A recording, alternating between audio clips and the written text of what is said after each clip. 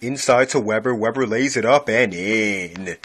It's now 18 to 13 Dallas here in game 4 of the 2002 Western Conference semifinals.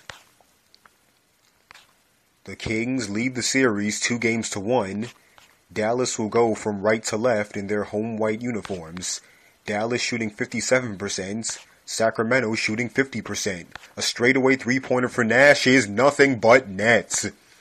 Steve Nash, such a versatile player, gives the Mavericks a 21-13 lead. Approaching five minutes to go in the first quarter, Christie losing the ball and is stolen away by Raef LaFrentz, and we have a foul called on the Sacramento Kings after they committed the turnover. Foul is on Doug Christie. Here in Game 4 of the 2002 Western Conference semifinals, the Sacramento Kings have a two games to one lead on the Dallas Mavericks. That's the third turnover on the Kings.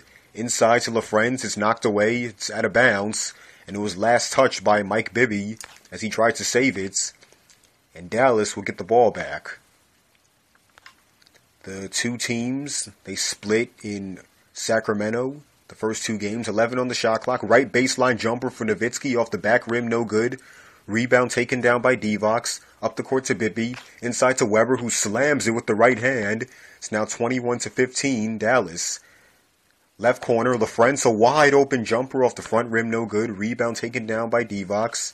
Pushing the ball up the court to Doug Christie at the right wing. Left wing it goes to Bobby Jackson. Long two pointer, in and out, no good. Rebound taken down by Nash. Pushing the ball up the court. Right wing Nowitzki. Going to the right baseline against Divac. Tough shot over Divac off the back rim, no good. Rebound taken down by Webber. Webber pushing the ball up the court behind the back to Mike Bibby at the left wing. Bibby going to the left baseline, picks up his dribble to the foul line to Divac, fakes inside, knocked away, stolen away. Here comes Nick Van Exel hands it off to Michael Finley, who slams it with the right hand on Bobby Jackson. Coming right back, it's Divac who lays it up, no good. Divac gets his own rebound, missed the layup, fight for the rebound, Webber lays it up and in.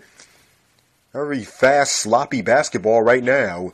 Nash coming right back, driving inside, knocked away, stolen away by Bobby Jackson, goes behind his back to the midcourt logo to the foul line. A left baseline jumper for Bibby is nothing but nets. So really fast-paced offense going on right now. It's now 23 to 19 Dallas. Here with 3 minutes and 25 seconds to go in the first quarter. The Mavericks have 7 fast break points. Sacramento has 2 fast break points.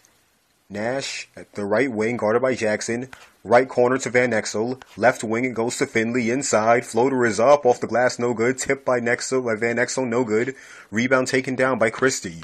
Christie pushing the ball up the court. Right wing goes to Bobby Jackson, crossing over, guarded by Nash, setting up the offense, losing it, gets it back, and he did lose the ball out of bounds, and it will be Dallas Mavericks ball, as that was just an unforced turnover by Bobby Jackson. As Rick Adelman wants to call yet another timeout. Very sloppy basketball so far for both teams. Both teams have a very fast style of play, and sometimes it can result in many turnovers. So we are here in Game 4 of the 2002 Western Conference Semifinals. Sacramento has a two games to one series lead here in this best of seven. We'll be right back after these messages.